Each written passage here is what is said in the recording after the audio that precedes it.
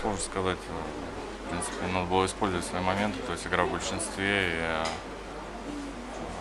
соперник очень здорово сыграл в обороне, э, забил на контратаках голы, поэтому, в принципе, мы ждали этой игры. Ну, не знаю, чего-то не хватило, может, какой-то свежести. То есть, Свежести? ну, и не знаю, чего, ну, сложно сказать. Ну, как-то вы и без настроения играли, да? Может, Да нет, ну почему, настроение было. ну, Тяжело против э, таких команд, то есть отыгрываться, э, если там пускаешь преимущество в счете, поэтому они очень здорово сыграли цепко в обороне.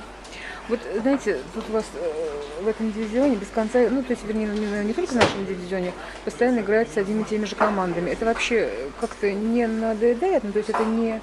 эм, то есть, играть с одними и теми же командами, это, наверное, скучно? Да нет, почему практика уже то есть, такая Ну да. у меня, по крайней мере, поэтому как бы спокойно относишься к этому, в принципе, и наоборот, а команды друг друга лучше изучают, то есть примерно такой же плей-офф, поэтому думаю, что игра идет а, с каждой игрой с этим соперником все лучше и лучше. И результат непредсказуем может быть. А, Спасибо, Костя. Я бы, конечно, еще пару вопросов задала.